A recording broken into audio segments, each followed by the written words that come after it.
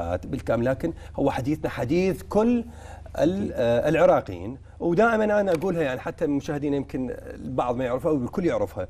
حديث بغداد هو الغاية منه طرح المشاكل والخروج بحلول حقيقية سواء تخدم المواطن العراقي أو تخدم آه، الجهات المعنية المختصة بأي موضوع اللي إحنا آه، مختصين به.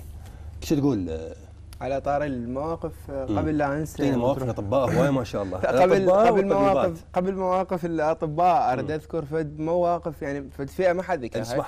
اللي هي آه، الرياضيين ولاعبين منتخبنا الوطني آه، دورهم كان كلش كبير خصوصا بداية الأزمة. أنا بصفتي يعني أخذت الموضوع شوي خارج النص يعني رياضي رياضي. رياضي ويعني بالوسائل التواصل الاجتماعي هذا الإعلام الإلكتروني.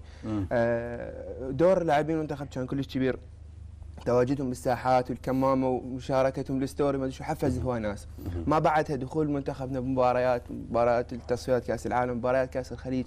خلى الشعب يلتف أكثر حول المنتخب. هذا هذا الشعور بالوطنية تحسه يتعمق أضعاف بيوم لعبة المنتخب. حتى الحضور بالساحة حتى قيمة ال... قيمة العلم ما كل تشتريه من مكان فعلا. ترتفع سعره بيوم لعبة المنتخب. فيعني فما ذكرت لاعبين المنتخب. حتى يمكن الحركة بعد الاحتفال مال الهدف مال بس كحديث بغداد آه. ذكرنا الكل وما نسينا أحد وما راح ننسى أحد. وأنا دائما أقولها ومن هذا المنبر الحر.